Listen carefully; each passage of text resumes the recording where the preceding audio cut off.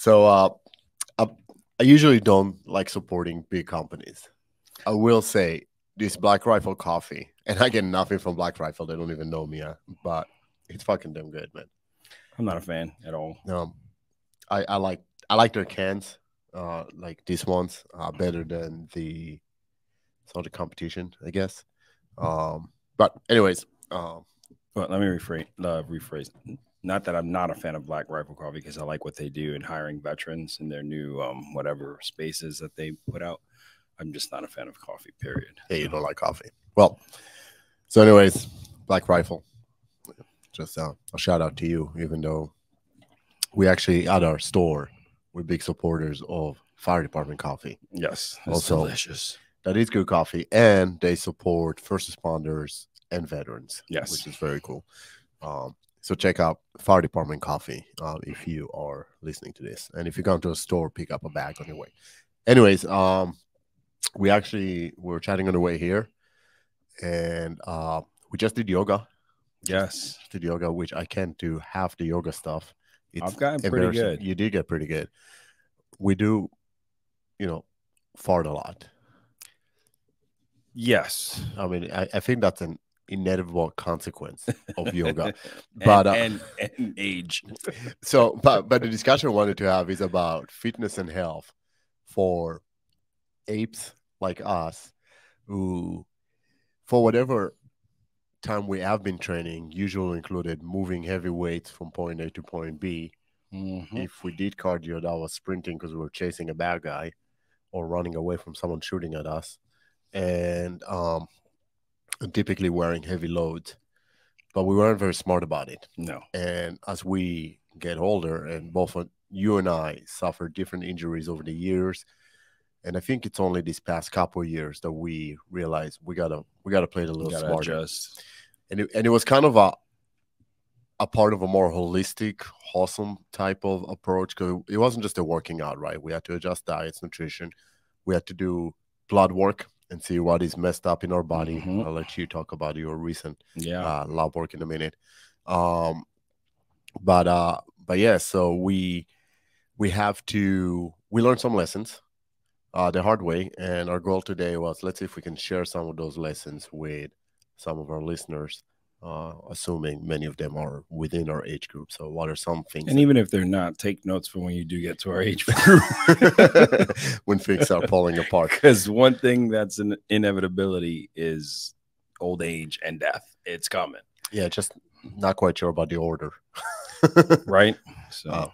But uh, so so let's we'll circle back to fitness and the workout in a little bit. Let's start actually with your blood work. So you just got your blood work done recently, right. Um, and this circles back to episode one, right? I, I, either one or two. Yeah, with. Dr. Yeah. Nager. Um, and we talked about testosterone health. And this and testosterone health, you know, typically is associated with men, but it also affects women as well. Um, Actually, according to Dr. Nager, the majority of his uh, patients are actually female. Yeah. So and and for those that don't know, especially after you get a certain age, I, I don't know the exact numbers. You typically after 35, I think, is when you really should start monitoring it. Unless you know, like those of us in our um, industry, you know, have been exposed to certain things that can affect it, like heavy metals and stuff like that from shooting and whatever the case may be. But um, so I finally got my T levels done, um, free and total, which I think are the two main ones that you want to get checked. Um, and And and to that point, sorry to cut you, but the majority of doctors, like I went to a primary care physicians a few years back before I started being seen by Dr. Nager. And I told him the same symptoms I told Dr. Nager, and he wanted to do a blood work. And according to the blood work that he ran, my testosterone was normal. So either anything within range is normal, so you can be on the very lower end of it, and Right. still count as normal, or they're counting the wrong testosterone. Correct, correct. So, um, learning from your experience with Dr. Nager, I specifically, you know, told my physician, which she's phenomenal. You know, they did, I, they sent me to an independent um, laboratory to get the um, blood work done, and I already knew, you know, it was below the normal levels. Mhm. Um, so she came back to me almost not in a panic, but concerned. I'm like, you know, listen, doc, I already knew it was going to be low. You know, I've been in the military, law enforcement, blah, blah, blah. I could tell by the symptoms, you know, always tired. You know, um, we've been working out religiously. I've been gaining some great muscle mass, but can't get rid of that cortisol belly fat in my area. And even not Dr. Nager said it. when I went into his office one day, he poked my belly and said, "That's all hormonal." You know, because just by looking at it, he's like, "Your physique is great." That All I'm there. envisioning, it's a Pillsbury. right? oh boy. um, so I, I, kind of knew. Um, and then I started realizing too with these injuries how it affected my mobility and stuff like that. Um, and testosterone, it affects everything, how you heal, how everything, you know. and and I, will say to that point, so yeah, testosterone is supposed to assist in healing and recovery. Yeah. Funnily enough, for me at least, what happened is almost the negative effect because I felt so good and so strong, and I've been pushing weights that I haven't pushed ever. I mean, you've Yeah. seen me deadlifting and whatever weights that are more than double my body weight, right. and then I started getting stupid injuries because of that, right? So you got to mo- and, and that's where I, I'm making the transition before I go on testosterone um, treatments, um, mainly because although strength, we you know we always want strength and size in our profession, right? Because we're fighting bad guys, etc. But um, for me, I was realizing the negative effect it was having on my specific injuries. Um, even though the muscle was, you know, bulletproofing my injuries, my size was working against me, the weight. And that's, you know, when I approached you, I was like, all right, I got to modify my workouts, do more HIIT training, tone, and lose some weight. And hopefully with the testosterone treatments, I'll lose even more weight. Um, but it wasn't an eye opener for me. Right. I knew. I don't know that you're gonna lose weight because I did not lose any weight. I gained 20 pounds. Yeah, but a muscle. Yeah, it's all good weight. I mean, my Good. That's what I mean. Gain Yeah. good weight. um. So, for those that didn't listen to our episode with uh, Dr. Nager, we'll certainly link it to our YouTube video and I'll put a link on our actual um, notes for this uh, episode so people can go back to it. But um, one thing that he does, and, and shout out to him, I suppose, um, is that it, I give him credit, he wasn't eager to put me on hormonal uh, therapy or replacement therapy right off the bat. He said, let's find out the root cause first. And in my case, it was high lead. I mean, one of the tests he did was checking for heavy metals, and my lead was off the chart. And just by going uh, th- uh, through chelation, essentially you let the body cleansing. clean. Yep. I mean, it was a lot of pills. It was nine pills a day for five days a week, and do that for almost a year. But by doing that, my testosterone, which uh, was also significantly below levels, went up to within range. It was still on the lower end, but it certainly went up. And then we tried some other things, uh, supplementation and so forth. So what, what Dr. Nagel does, he, he would call itself optimize health, right? It's like I want to be proactive rather than reactive in terms of medicine. How do I keep you operating in top condition rather than just fixing symptoms when you finally or eventually get hit, right? Uh, with any disease or or injury or whatever. So I give him a lot of credit for that. And uh, and even if you're listening and you are out of state, uh, certainly look him up. I know he does some telemedicine as well, and a lot of these labs can be done uh, remotely. Um, I don't know how he does the actual therapy. Like for me, I have to go in every four months where I get these pellets inserted into. Used to be my butt cheek, but my butt rejected it. It actually pushed one back out, so now it's in my uh, my lower back area. But uh, anyways, I don't know. We'll do that remotely. I, I'm sure there's people that he can contract out Yeah, or whatnot. they- But um, but yeah. So so for men and women, as you said, but certainly for men in our age group, get your testosterone check. yes. Um, there's so people understand it's not just about vanity either. It's not just about strength and Mm-mm. size. There's so many health benefits, including cardiac health and so forth, that are affected by hormonal levels. That Oh, yeah. if I, I mean, my family has a history of cardiac arrest in the early 50s. Right, my father died in his early 50s. My grandfather, his father, in, in turn. So about three generations straight that I know of. My goal is to pass that. So for me, cardiac health is important, Right. and that's one of the main reasons why testosterone uh, and hormonal therapy was so important to me. Uh, so that is one element, right? So only I did. You know what? Sorry, I know I'm all over the place. I listened to another pe- uh, person podcast talking about some uh, medical tests that every man should do, and one of the things that they suggest this guy is a physician by trade, uh, was a special operations uh, in special operations for years, and then became a doctor for them. Um, he said that to get your eyes checked, uh, not necessarily because of glasses, because your eyes are actually um, have a lot of indicators of other issues that you may have from different types of cancers, obviously, to uh, to blood pressure issues and so forth. So getting your eye exam done on a fairly regular basis is important and actually help uncover a lot of potential issues before wow. they become issues. Yeah, so that was interesting. Digestive, obviously, digestive system.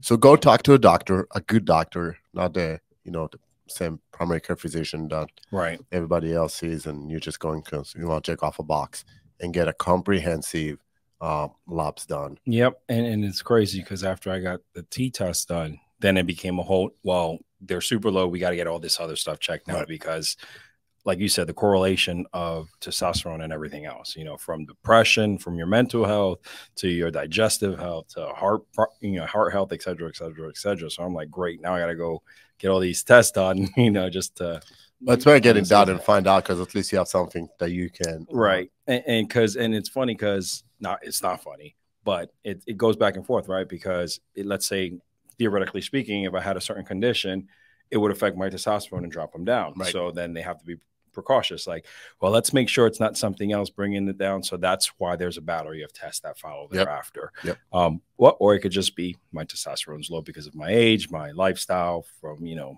being exposed to from everything from depleted uranium I mean, I will say for a fact, walls. so two of the things th- so there's all questionnaire that i had to fill uh trying to uncover potential reasons for why testosterone may be low and two of the questions were have you ever had testi- testicular trauma which i have and i know you have i know i inflicted some of it yes. and uh uh traumatic brain injury tbis yes. and i know me being in military being around explosions i'm sure you have as, as well Yes. so, you know, especially people in our line of work, uh, there's so many contribute firefighters that are a lo- around a lot of lead and Mhm. other um, chemicals uh, that may be affecting uh, hormonal levels.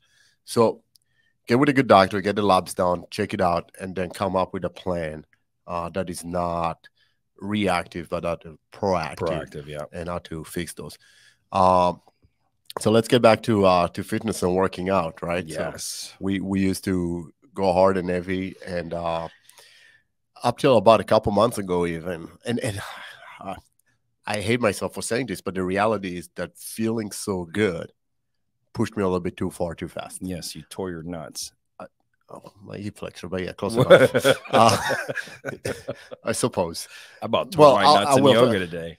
I, dr nager if you're listening to this no just kidding but my right bicep left That's right. I rotator cuff my left hip flexor um they were all hurting to some degree or another and i worked through it what i found out is you know we're always going to have some aches and pains it just comes with age i mean we tore our bodies up over the years And there's it no was awesome. it was awesome but i can't just go into a workout now and say because i've seen you do that a couple times like oh shit because you're like i don't need to warm up i'm just going Right. to go and push my 235 pound you know chest press you know Yeah. and that, that'll be my first set and go up from there. And I'm like, no. So I found out that I need about 15 to 20 minutes of mobility Mhm. and getting my core temperature up and then some uh some light stretching. I don't want to stretch a cold muscle, but certainly get it to a point. I need to get that done before I can actually my my warm up is probably as long as my workout now. Yeah. Yeah. Just there a lot of band work, uh PVC pipe work, uh foam roller. Um so I, I've been lifting more at home recently just because of scheduling and convenience. But uh but seriously, I, I go I go to my gym and it takes me about 20 to 30 minutes of just warming up. Yep. And I think that's a part that I at least historically used to neglect. And I was lot. the same way, you Yeah. know, learning from you guys. And so it's definitely important. yeah, but warm, warming up is so important as we get a little bit older. And then the workout itself. So I still see people our age that are I'm gonna fall back on my personal training background a little bit, but um they're still doing these split routines where we isolating body parts, right? There's a chest day and a back day and an arm day and a leg day and so forth. And unless you're a competitive bodybuilder, it's actually counterproductive for you to do so in a sense that you are putting a lot of strain on joints. Um, you overworking certain muscles to the point that your recovery is not going to be sufficient to actually rebuild those muscles. So one thing that we've been doing, and I think very successfully, is doing whole body workouts, Right. or at the very least, smaller splits. Like there's an upper body push day and upper body pull day and leg day. And I think we rotate between those two routines, right? The whole body and the the basic split. Uh, because even on that, let's say upper body pull day, right? There's different back exercise, which is primary, and then we'll do some rear delts and a little bit of biceps. But the biceps got worked enough doing back, right? So I don't I don't sit there doing 15 sets of bicep curls Right. because there's no point, right? Uh, plus, from a functional standpoint, I don't stand there curling things often, right? But I lift people Right. or lift myself, right? So concentrating on pull-ups and rows is a lot more important for me. Right. Um, so being smarter on that is important. I know one thing that you've been doing, and I'm actually following your suit in that, even though I recommended it, is um, lowering the loads and increasing repetitions. yes. Right. Um, again, if you're a power lifter or you play a sport that specifically requires you to have a certain level of force or strength in a specific movement, for most general male adults, there is no need for me to be able to deadlift 500 pounds, Right.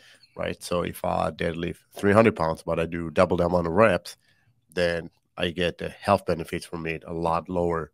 Um, tasking on my joints, Correct. recovery is faster. Right. So, so um, I think you're doing that routine right now, right? Yes, and I I combine more again because of my injuries, um, HIIT and weight. Mhm. I'm doing more kettlebell work because, like you said, it, for me it works my stabilizers, and my biggest issue right now is my knee and my back. Right, even though you know I've had all these surgeries, and I'm probably looking at more. I'm working with what I have, and it's forcing those injuries to kind of forcing the, the little muscles around those injuries to to work. strengthen the Yeah. joints and so forth. because Um, we neglect those small muscles when we isolate the primary muscles, like you said before.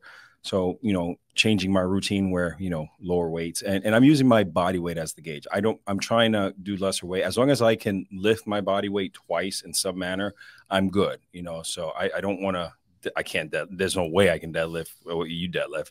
'Cause- Well, 'cause for our listeners, though, because you are bigger and stronger than me, but for our listeners, you did have multiple knee injuries and Yeah, surgeries, lower back. back, right? So and, and a shoulder surgery. your whole spine is one big scar. Yeah, pretty much. Um, I'm I can't wait for the days where I can just get like a robotic spine or something like that. I'll Oh, probably be dead by then. Robocop. Yeah, that'd be awesome. Um, but yes, I'm combining the lesser weight, more reps, but also combining the functional movements with weighted bats and kettlebells. Yeah, you're a big fan of those. I haven't played with those Yeah, enough. I I love it. Um, again because I'm not as well rehearsed as you know in in working out. I always come to you for guidance, um, but the again the movements are functional based on what I do, fighting, shooting, etc. And they force those small stabilizing muscles to work. So you're you end up being sore in other parts of your body that you're like, I didn't even work that out, you Right. know. But it's because it's complementing. Yeah, it. that's awesome. Um, one question that I get often asked by our members or or people that uh, I come in contact with that know a little bit about my background is about what's the best kind of cardio for them to do, right? Because men our age, yeah, it's a little bit harder for us to lose fat once we get it, right? Um, cardiac health is important, which is one of my issues now right? as well. So, so what's the best thing for them to do? And and I will say I am one of those that do as I say, not as I do when it comes to cardio, because my cardio does consist of um of running, a lot of running. Um, not because I necessarily like running, but I found that for me that works best. But I will the first one to admit that running is a lot of impact yes. on your spine and knees. Yeah, I can't run at all. And and there's no need for someone to run unless again they play a sport where that is an integral required, yeah. part of it, right? Uh, so when we work with athletes, then obviously they have to run. Uh, but um, for the majority of the population, unless it is something that you have to do, running doesn't have all those benefits. Or let let me rephrase it. There's other ways that are healthier and safer, specifically for Oh, yeah. adult males to accomplish the same thing. So one thing that I recommend is actually rucking. Right Rucking. Yep. Yeah, take right, your uh go outside if you can by the way Yeah. the, the health benefits of just being in Yep. nature and fresh air and you know the birds chirping around and Mhm. especially if you do it by yourself just the mental and That's so what I used to do. yeah it's awesome right but assuming you can't do that you don't have the access to to trails or whatnot even just getting on a treadmill putting on a slight incline um kind of like a brisk walk uh, pace and take a backpack Mhm. put a couple weights in it and just walk Yeah. um, you're gonna burn a lot more calories. Your heart rate is gonna be obviously elevated, and there's a lot less pressure on your joints. Um, I am a big fan of intervals. So you said you somewhat of a HEAT workout. Yep. And for those that don't know, HEAT stands for high intensity interval training. So it's it's H I I T. T, yes. Uh, so I like doing it on treadmill by running sprints, uh, uphill sprints. But uh, the best way to get that HEAT workout in, and it's been proven by research upon research upon research that I read, is actually boxing or working a bag. Yeah.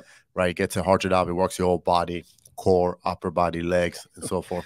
It's funny you say that because, um, you know, I have uh one of those uh, VRs Mhm. and I got a boxing game on it. And I mean, within the first minute of the first round fighting, I am drenched in sweat. My heart rate is racing Yep. and I'm having fun with it. you Right. know? So it was pretty cool. And not to mention that it's functional for our lives because you know it's a way for us to get those repetitions on striking combinations. Oh yeah, yeah. And my wife can't yell at me. She's like, "What are you doing in the video games?" I was like, "No, no, no. I'm It's working on my heart health. Yeah, you know, yeah, I'm it's boxing, standing in the middle of a room with a giant headset over my eyes, swinging at nothing. Can't wait to see you. Because your living room is not that big. I can't wait to see you I do in the trip on something. I'm gonna bring it. You know what? I'm gonna bring it to Masada, and I'm gonna have you guys try it Well, that'd be awesome. Oh yes, it, it's it's a great time. We should actually record it uh, for Silver we, we, Savage. we should. oh, actually, you can uh, cast it onto the phone and record it. So it's Oh, that'd be awesome. Yeah. Um, what I do for cardio, if you don't mind me interviewing, because. I, I can't run, right? Because my injuries. I mean, I can run, but it's with a severe limp, and as soon as there's any significant impact on my, It's more of a Right. graceful wobble. you know what? I have to agree with that. it's a graceful wobble. Um, I, I ride bike. Yeah. Um, that's my option. Um, I whether can't it's do that. It, it kills my anus. so funny you should say that. um, I found these great pair of shorts with a padded anus area Mhm. on, on Amazon. I'm actually have recommended them like three times now, and I, I swear by them. Um, I can go a full hour without severe anus pain with these shorts. All right, it, it, it, they're funny. They feel funny when you put them on. Excuse my French, but it, not that I know what it feels like to wear a tampon or a, a maxi pad. Imagine. But if you can imagine wearing one, I would assume this is what it feels like because it's in that you know grundle area and there's a Hold lot on, I lost you. I, I I know we digressing, but as far as I know, tampon goes inside. Yeah, sorry, I didn't mean that. All right. Uh, yeah, but whatever. It's padded. your your genitalia and your taint and your anus are padded. It has Okay. padding in those areas. So I know a lot of triathletes wear that. I mean, if you do an Ironman and you're going to be on a bike for 120 Yes. miles, which was always one thing on my bucket list. I, I wanted to do it by the time I turned 40. That never happened because you know surgeries and stuff. Yeah. But um, you know the idea of swimming two miles and and bike Yeah. biking. 100 is it miles or kilometers? Might be kilometers, We're in America. and then running a full miles. marathon at the end. Well, I know, I know. They still break it up traditionally. Yeah, I think that's 2.4 kilometers Mhm. on 20 kilometers. I, think it's all I'm- kilometers. I'll cheer you on from the sidelines. Thank you, I appreciate it. and so I may be wrong. I don't know. Whatever a full Ironman is, I wanna I wanna be able to say that I'm an Ironman. Um, you are an Iron Man. a different You're a macho man.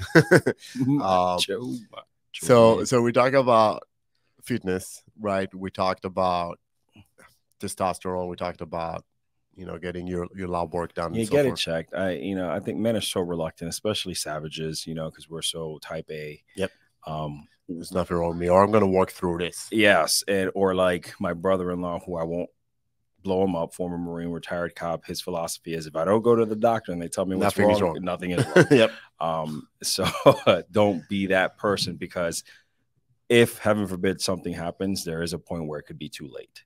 Um, so Yeah, you- you- 100%. yeah, you Get your prostate checked. yes, uh, that's yeah. I'm, you just do that for fun, but yes, um,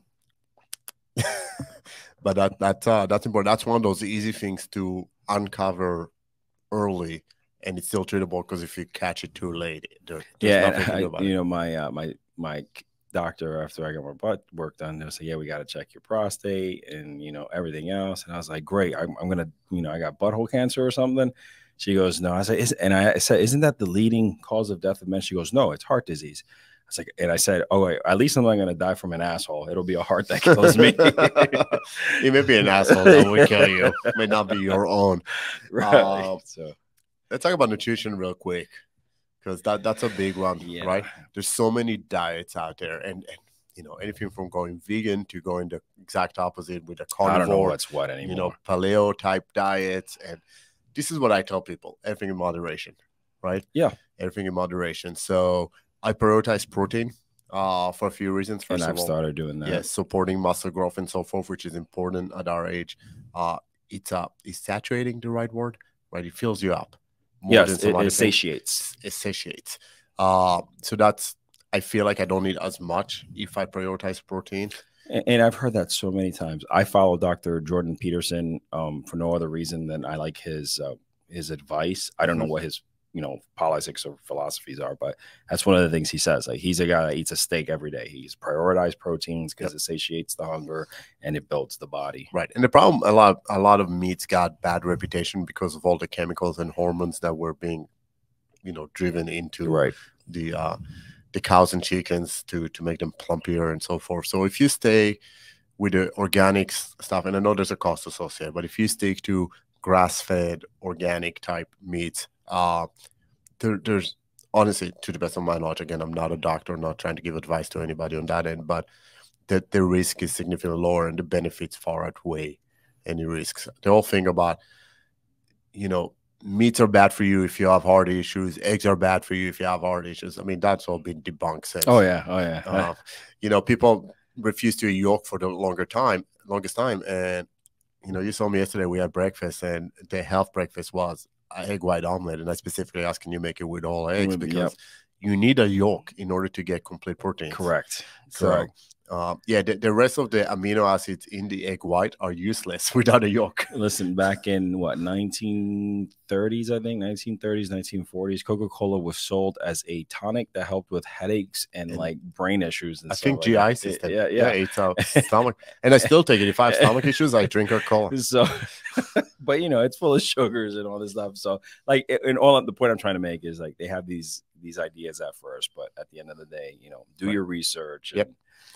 Yeah, so everything in moderation. Uh, same thing with alcoholic beverages. yeah, moderation, moderation. Exactly. Uh, Because at the end of the day, alcohol is poison. You're drinking alcohol that is true. in, in in mass amounts. exactly. But the, the flip, and I'm gonna kind of refer back to Dr. Nager. I think he said that in the podcast. It actually Yeah, because it's it forces toxin, your liver to clean. yeah, it cleans cleans up. out. So again, if you have a little bit, you know, three, four times a week, um, a drink, um, it's Right. not bad. It may actually be good. Again, that's and, and that's with And- anything. right. Moderation, moderation, And pick your drinks. I Mhm. stopped drinking beers or don't drink them as often. I prefer wine or bourbon. Yeah. Right, just because it's healthier. uh, yes. vegetables and fruits. Uh, I love people that come to me and say, "I don't like to eat fruit because there's a lot of sugar in them." No, and I've yet- that's natural. yeah, I good to know one person that got fat eating fruit. Yes, I love fruit. I Yeah. tell my kids they can have all the fruit they want. You know, make Yeah. fruit salads, eat eat it, eat it up, Yep. eat it up. It's awesome. It's great. So, um, so yeah, just just balance, prioritize, minimize processed food, minimize um, carbs in the sense of like breads and and pasta and stuff like that. Right. And, and I'll tell you what made the change for me. The biggest, one of the biggest changes for me was not eating late. Okay. You know, like after a certain time, Yeah. cut myself off. And I know there's these fasting diets and stuff like that. I didn't even go that far. Yeah. Um, I actually followed one of uh, Jordan Peterson's advices. He goes, eat dinner and brush your teeth immediately after. You won't want to eat again. And I started, I started doing that, and I'm like, no, nah, I don't want to have to brush my teeth again. No, I don't want to have to brush my teeth again. That's funny. And I just would drink water if if I got you know a Interesting. I'll have to try that. For me, the problem is like tonight, right? I'm gonna be teaching classes till eight thirty at night. Right. By the time I get home, it's nine thirty. I gotta have dinner, and you know it's just late. I'll go to bed right after dinner. It's it's and tough. that's the that's the problem. So I, that's a I- lifestyle. Thing. yeah, it It's is. just- But thankfully, you get up early and you work out too. I do. So, so I do. that might kind of to some extent. I do try to knowing that I'm not gonna have the time to digest fully, you know, and I don't want to go to bed, you know, on a bowl of pasta or whatever. I my dinner typically is a salad yeah. and uh and what we call a lean and green or green and lean, right? There, there's some some green leafy vegetables and uh and some sort of a lean protein, so like a chicken breast or Right. something like that, or tuna So, steak. so what I do, and this happened on Mondays, which are my late late days. I Mhm. got home and you know my my wife made one of my favorite dishes, just pasta. You know, pasta, meat sauce, and I was like, cool. I hadn't eaten all day, so this is okay. This is my carb of the day. But it was you know nine o'clock at night, so I just stayed up. I made sure I had three hours oh, wow. three to four hours to digest my food and I actually sat upright. So, you know, put on my heat pad, threw on my ice pads, my STEM machine on my knee, you know, got a book, put on my favorite show, and literally I watched the clock, even if I was getting sleepy, kept myself up for four hours to allow for at least, you know, that initial stage of digestion, digestion to go through. And then I let myself go to sleep. Now, Oh, cool. now the you know the con of that is I'm exhausted because I'm Right. not getting them out of Right, sleep. you gotta you gotta find that balance. So I, I have been waking up at five in the morning every day. That's consistent. I've been doing that for a few months. That's my goal. um, and and I'm loving it. I get up, I have my morning routine. Um, by 6 a.m., I have my pre workout. I'm ready to work out. So by 7 a.m., post shower, I'm good to tackle the day, man. It's That- been awesome. That's what I'm trying to do. But again, what's one of the negative effects of low testosterone? Tired, You're tired. and and it's I'm it's a different type of tired. It is. Yeah. It is. I told you when was it? Yesterday, the day before, where uh, we were meeting up to go teach a presentation. I dropped the kids off, and I mean the whole time I'm just dragging. It feels like my body was just made of lead. And I went back home, sat on the couch, and literally passed out. It wasn't like a- just a little snooze or nap. It was rock hard passing out, and I can't help it, and I hate it. That's you also your hate it. body telling you something, man. You Oh, yeah. you don't sleep well to begin with, which is a whole different conversation, right? If you talk about health and wellness, you gotta talk about proper rest and Oh, sleep. absolutely. Um, you know, people are like, you know, I don't know Jocko Willink Mhm. personally, and certainly don't want to piss him off. it no, I, like he- I I think I would be afraid to be in his presence. I would like to be in his presence because I think I think we'll have a good conversation. But that aside, you know, they're all waking up at four thirty in the morning. He takes a picture of his Timex watch every morning. He's up at four thirty doing his stuff. And I'm like, I don't necessarily disagree with that. But did you get the amount of sleep you need? And that varies from person to person, Yes, right? Some does. people can get away on five, six hours. I need seven or eight. Anything below that, I'll be tired. Testosterone, or not testosterone, doesn't Mhm. matter, right? Now, if I sleep more than eight hours, I'm also dragging Yep. right? That sleep inertia tip thing Mhm. takes over. So I know my body and what my body needs, and Yeah. people have to find that out for themselves, Yep. right? Uh, so definitely take the time to do your own homework on that. Um, I do want to actually prompt our listeners and uh, and viewers, if you guys don't mind, it it certainly helps us a lot. Um, let us know what you thought of our conversation. Let us know what you do. Uh, maybe some tips that you can give other listeners that are in the same boat as us. Um, just would love to kind of include you guys in the conversation, make it a little more interactive. Send us a message. Yep. Uh, let us know what you do, and um, we'll make sure to include that. And even if you don't know who we are and they're new listeners, throw it on there. Um, BK has no problem telling his story. I got no problem telling you about me. There's a lot of people you just know me as Steve and Mo is BK. I I rarely talk about myself, but uh, I'm- I'm more than happy to do so. Yeah. So you're probably the only person who really knows the majority of the things I've actually done. So I don't think even And that's my why I have nightmares from your stories. yeah, I- I don't think even my wife does it. Uh, She got an, an exposure to that when I got the interview for the therapy For the dog, yeah. So um, yeah, I don't. I just don't talk about it. And you know what? Those, those that talk a lot typically, you know, a lot of it is made up. That's how I found out. um, but that that aside, so uh, seriously, um, please uh, subscribe and and share this. Share this with other people. Send the link to others. Invite them to come and listen. Uh, we investing in a better studio. We are getting new equipment. We're trying to make this more professional, better for you. We have some great, awesome guests lined up. yes, we do. So uh, you're gonna hear from other people as well. And I think that's all I got. Yeah, yeah. Like I said, don't don't be that person. Get yourself checked.